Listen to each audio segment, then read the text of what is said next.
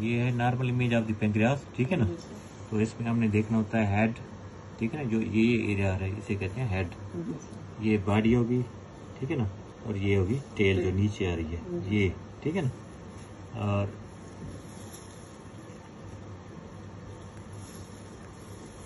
और यहाँ से ना स्प्रीनिक और स्पिरमेंटर वेन मिल के ना ये पोर्टल में आ रही है ठीक है ना? समझ आ गई है अच्छा इसके ना ये एरिया देखो इधर फोकस करो। ये जो है ना ये है सुपीरियर मिजेंटेरिक आर्टरी ठीक है ना? अब ये मैं इसका अच्छी तरह फोकस करता हूँ। ठीक है ना? ये कौन सी है? सुपीरियर मिजेंटेरिक आर्टरी ये वर्टिब्रल शेड है ये जो आ रहा है ये एल्टा है ये आईवीसी है। ठीक। है ना? ये कौन सा है?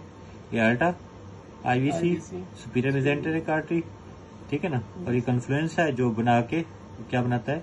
पोर्टल वेन सप्रीनिक और सुपीरियर मेजेंटेरिक वेन क्या बनाती है? पोर्टल वेन ये क्या है?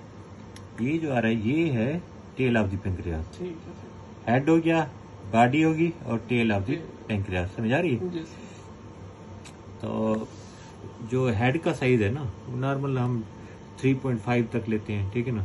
और बॉडी का 2.5 से इससे ज़्यादा हो तो वो पैंक्रिटाइटिस वगैरह में हम यूज़ वगैरह करते हैं कि इसके साइज़ वगैरह को मेजर करने के लिए।